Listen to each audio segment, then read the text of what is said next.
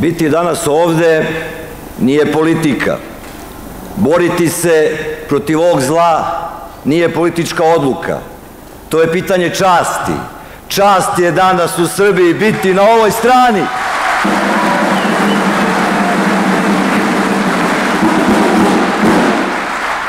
Nikada Srbija u svojoj istoriji nije imala vlast koja deli ovako narod, koja seje i širi mržnju. Nije imala vlast koja ljude prvo ponizi, pa uceni, pa ih prodaje kao jeftinu radnu snagu, dok poklanja delove Srbije kao kusur u toj trgovini. Mi danas nemamo političke protivnike ovde. Mi imamo SNS klan, imamo ljude koji pljačkaju ovu zemlju i koji se smeju narodu u lice dok to rade. I koji ubeđuju sve da su oni Srbija, da je to što su oni Srbija. Nije to Srbija. Jer nije Srbija mržnja, nije Srbija bahatost, nije Srbija lopovluk, nije Srbija izdaja. Srbija je ljubav, Srbija je poštenje.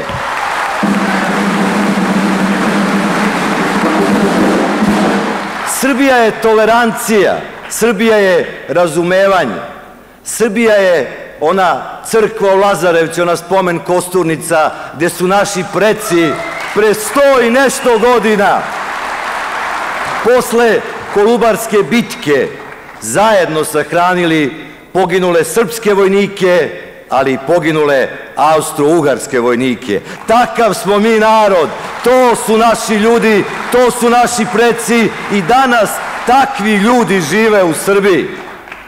I to ne smemo nikada zaboraviti.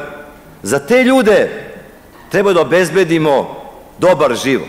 Znate ono, kad idete ulicom pa vas pitaju kako ste, a vi kažete dobro sam. Danas kad idete ulicom i kad vas pitaju, obično kažete ma šta me pitaš, pa znaš kako sam, kako sam, pusti me u... E sada sam ja Sergij Trifunović, ja bih završio tu rečenicu, ali na moju žalost, na moju žalost nisam, pa ću se tu, pa ću se tu zaustaviti. Ali, ljudi, mi treba ljudima u Srbiji da omogućimo da kad ih neko pita kako si, on kaže dobro sam, dobro živim pristojno od svog rada, deca mi idu dobre škole, profesori su dobro plaćeni, lekari ako mi zatreba su tu, medicinske sestre, jednostavno dobro se živi. To je ono što mi treba da napravimo. Srpska opozicija je, kažu neki, donela odluku da ide u bojkot. Ne, srpska opozicija je donela odluku da posluša svoj narod. To je uradila srpska opozicija.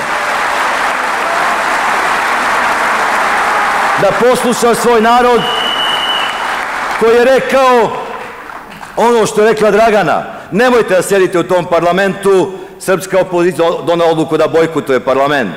Obećali smo februara prošle godine da na ovakvim izborima nećemo učestvovati i to obećanje smo ispunili.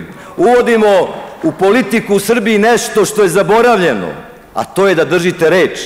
Da kad nešto obećate, to i uradite.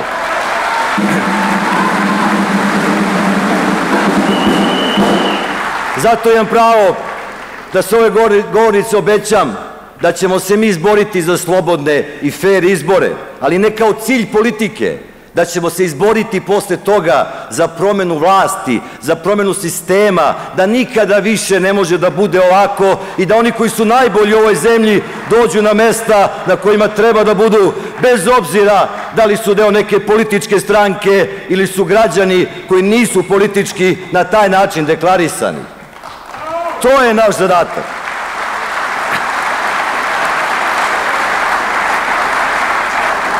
Ovi izbori Biće izborni listići. Mi ne smemo nikad da budemo kao oni. Mi ne možemo da ih pobedimo ako koristimo iste reči, ako vređamo, ako psujemo na taj način, ako uništavamo ljudima životi. Mi moramo da pokažemo da smo drugačiji i da verujemo u to.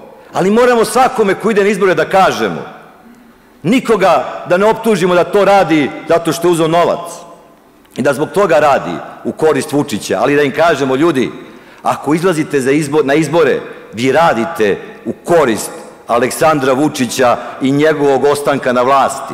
Jer na tim biračkim listićima biće samo jedno ime, Aleksandar Vučić. U toj skupštini svako ko bude sedeo zvaće se Aleksandar Vučić. Dobro. Dobro, neko će se zvati Nebojša Stefanović Vulin i to, ali ipak je ovaj glan. I za kraj, dobio sam informaciju da Aleksandar Vučić snima novi spot. Nije o meni o 619 miliona, to smo završili davno. Ima onaj spot da upada ljudima u kuću, pa ima onaj spot da nosi čaj. Sad kažu da snima spot da je on taksi vozač i da vozi, smejte se vi smejte, tako smo se smejali pre 8 godina, pa i da je kao taksi vozač kao taksi vozač vozi nekog mladog čoveka koji je odlučio da se vrati u Srbiju. Aleksandre Vučiću, zbog tebe, zbog ovih tvojih sledbenika, iz ove zemlje odlazi skoro 100.000 ljudi svake godine. 100.000 ljudi koji nisu broj, svako od njih ima ime i prezime. Imao je neke snove, neke nade, neku želju da živi u ovoj zemlji. Oni zbog tebe odlaze.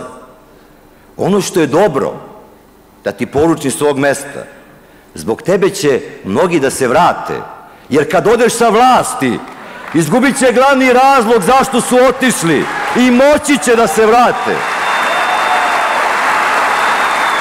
Zbog toga u bojkot za sve ljude koji su otišli da nam se vrate, za sve one koji su tu da ostanu, u bojkot za slobodnu Srbiju, za pravu Srbiju. Živela Srbija!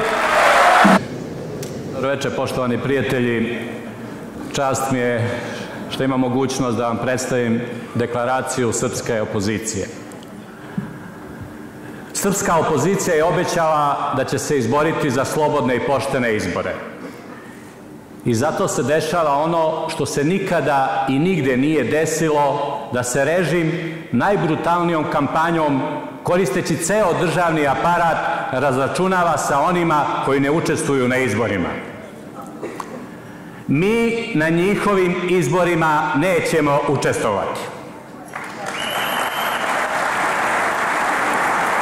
Sve su pokušali da nas podele.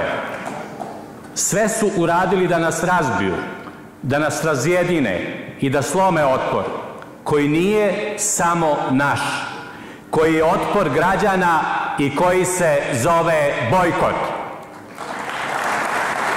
Nisu uspeli. Samo izbori na kojima građani imaju mogućnost da budu informisani i na kojima glasaju slobodno i bez pritisaka jesu pravi izbori. I zato, u skladu sa sporazumom sa narodom, koji smo potpisali i koji smo doneli odluku o bojkotu lažnih izbora, objavljujemo da je srpska opozicija donela deklaraciju kojom se obavezuje da, će, da ćemo svaki pokušaj formiranja vlasti na osnovu rezultata lažnih izbora smatrati aktom rušenja ustavnog poredka.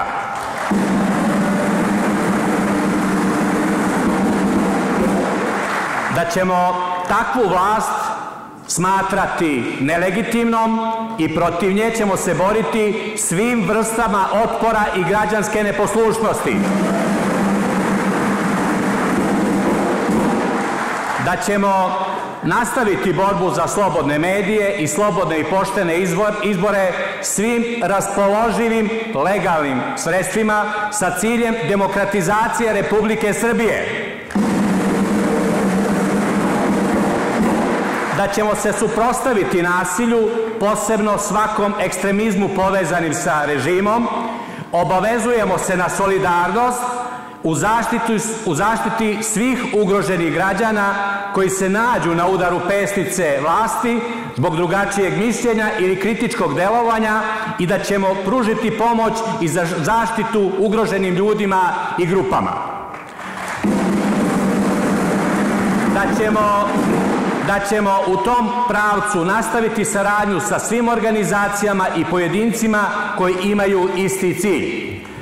Da ćemo u tom cilju nastaviti razgovore sa predstavnicima Evropske unije i drugih zemalja i organizacija koje podržavaju demokratske vrednosti, slobodu medija i slobodne izbore.